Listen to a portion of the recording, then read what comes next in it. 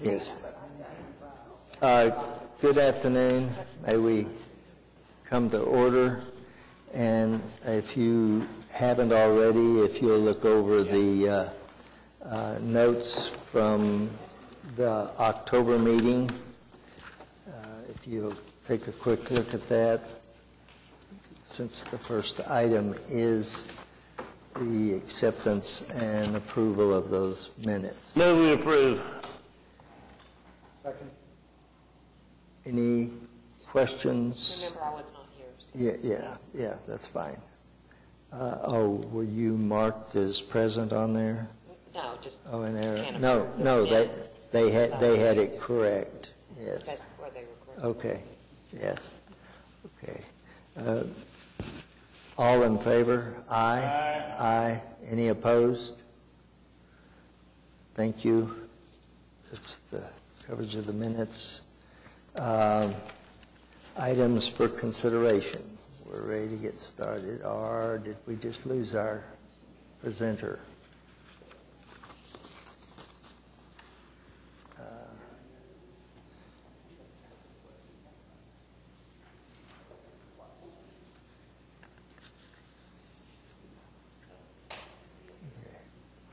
Okay. uh, um, Ahmad. Ahmad, we're ready for your presentation. Yes, good afternoon, uh, uh, Mr. Chairman and committee members. Mr. Cunningham asked me to talk louder, so uh, are you hearing me okay, Mr. Cunningham? Are you hearing me okay? Oh, yes, thank you, yes. All right, uh, item number one, uh, we have a project, uh, this is uh, what we call internally as quiet zone. Uh, This is the extension of sealed railroad safety corridor. Uh, Basically, we are working in cooperation with Burlington Northern Santa Fe Railroad to um, make the um, crossings uh, of railroad safe, and um, so the um, engineer of the train does not have to uh, blow the whistle. Um, Per law, um, before they enter the approach, uh, they have to uh, sound the whistle 15 seconds before they enter the um, the intersection. This project is to uh, make a safety crossing at Wilshire Boulevard and Classen, near Classen Boulevard. And we have done uh, a project, not with bond funds, but with uh, capital improvement funds. Um, We made uh, the intersections of uh, Railroad Crossing from Southeast 23rd, um, just east of Shield Boulevard, all the way to Northwest 16th, which is, you know, Canada runs along the E.K. Gaylord. Um, We made it all quiet zone uh, eligible, and the um, federal um, Transit Authority approved it. So uh, this is the location that we like to allocate 250,500 in bond funds, in unlisted street funds uh, in order to uh, do some safety features at this intersection. Basically, we're adding medians, so the cars would not weave around the crossing. Uh, Also, we will be doing some uh, upgrades to the lights, the, so that way, you know, the train will be going through without blowing the whistle. Uh, Once the presentation is up, I'll show you an example of uh, um, intersection that has been done, will- this will be similar to that.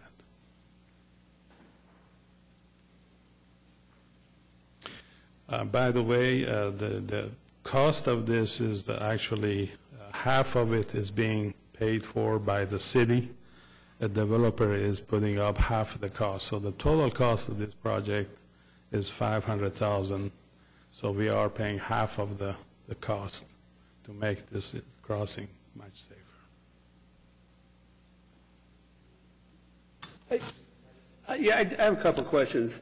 I, I- I um, correct me if I, I may have misunderstood. Did you say this was basically the, second quiet zone area?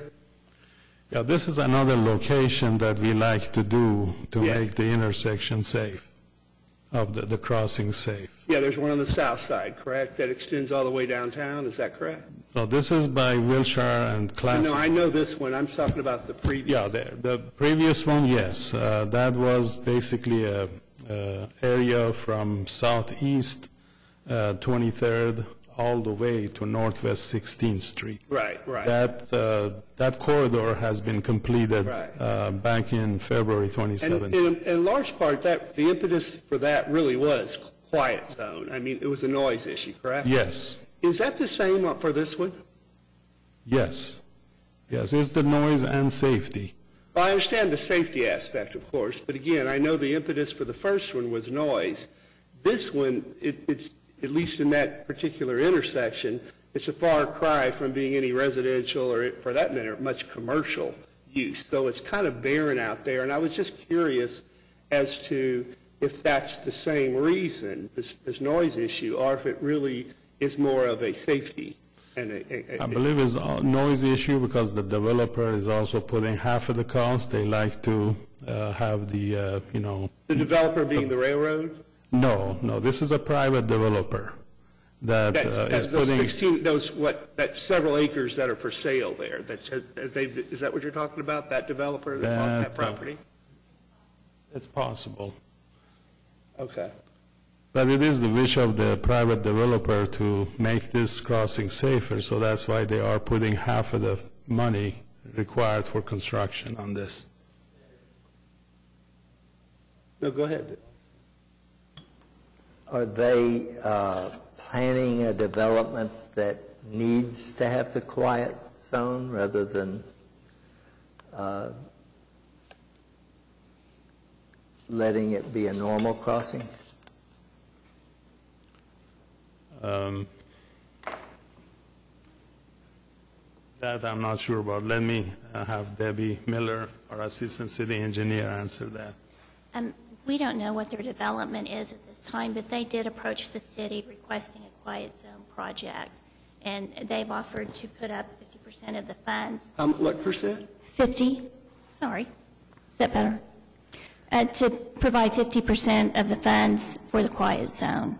But they came to the city and They approached said, the city. We'd like it to be a quiet zone. So Yes.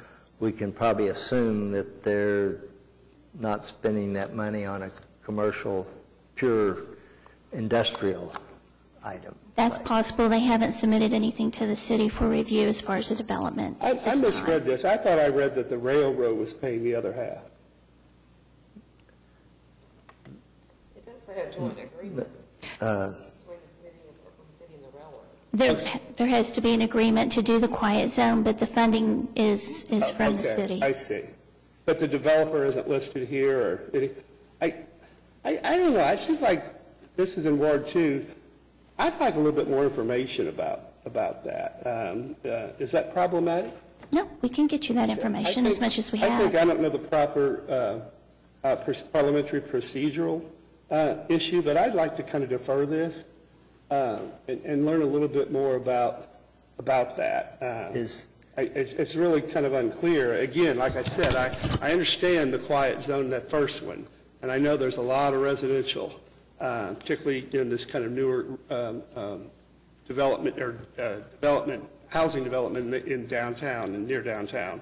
But this one is just so barren out there. It's just really nothing out there hardly at all. I'd be interested in, is there a uh, critical time item on this?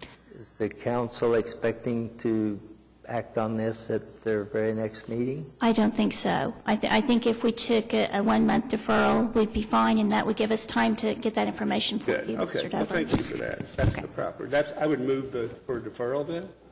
Okay. I don't know that we particularly needed a motion for that, but uh, anyone, el- any other discussion or views? Anyone objecting to a deferral? I'll second. Yeah, okay. Uh, Those in favor, aye. Aye. Aye. Any opposed? Uh, Then, if you will, bring uh, what information you can at the next meeting, and we'll see if we can't get Yes, this we'll- one Thank out you. of the way. Thank you. We'll provide you with the information at the next meeting. Thank you. So we're ready for your next item. Ahmad. All right, next item is the, um, basically, we are uh, requesting $75,000 in the um, unlisted traffic control uh, funds in 2007 for uh, what we call wayfinding sign for downtown Oklahoma City. Uh, The location is in the vicinity of 13th Northwest 13th Street to the I-40 and from North Lincoln Boulevard to Western Avenue.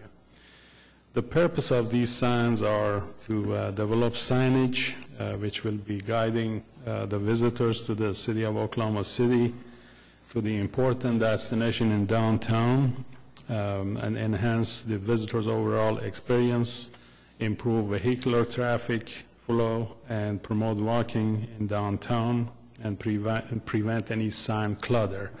Um, Basically, the material will be purchased with the money that we are requesting, and our in-house um, uh, street crews will be installing these uh, at the locations.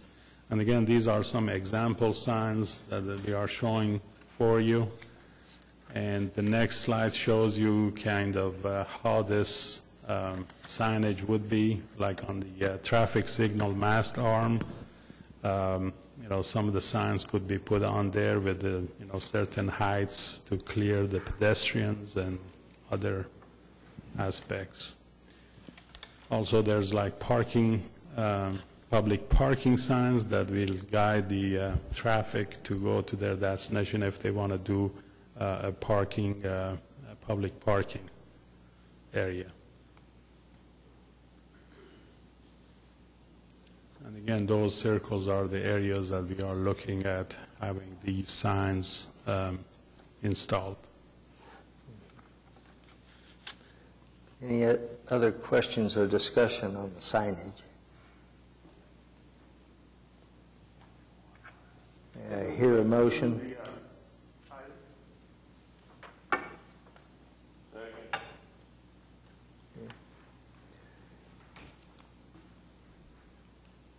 Those approving, aye? Any opposed? Thank you. All right, next item, uh, we are requesting $250,000 in funds from the 2007 general obligation bond, uh, street unlisted funds, and uh, to put these funds into our unit price contract for uh, traffic striping. Uh, We have uh, many intersections in the city that, you know, either the striping is faded or really needs to be refreshed. An example I have for you is some of the, what we call continental crosswalks at the intersection that you probably have seen on downtown area. Uh, Basically, the um, intersection will be uh, restriped to be more visible and for both vehicular and pedestrian safety. So this, um, this funds will go through um, our unit price so we can issue work orders and uh, basically enhance the intersection that badly need to be restriped and uh, refreshed. Is it only for these um, pedestrian striping, or is it also for the It's also street? for the streets, you know, like lane lines and Right. others, but, you know, right now, there's a lot of intersection being identified that really needs to have. I can striping. identify one in my ward that I got messed up yesterday and got in the wrong lane, got in a turn lane because the striping was so poor. I- Yeah. And I wasn't, I didn't particularly go to, the- on that street very often, but if the striping, I think, had been better, I'd have known which lane I needed to be in, so I see a need for that, thank you. Might might it be um, things like uh, marking those center dividers so that if you're turning left, you know there's a divider there? Yes, the, you know, the striping includes, you know, for, uh, you know, turning lanes, for lane lanes, for pedestrian crosswalks, et cetera. Yes. So, okay. I recommend approval. Do I hear a second? Second. Did we cover all questions and comments? Okay. Those approving, aye? Aye. Any opposed? Thank you. That's passed. Thank you.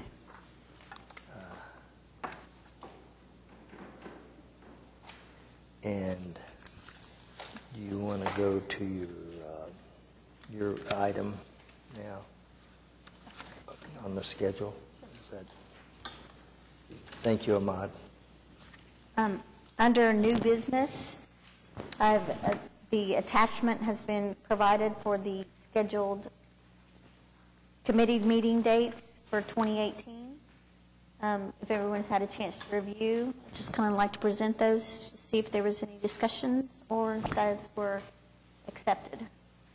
Move we approve. Those in favor? Aye.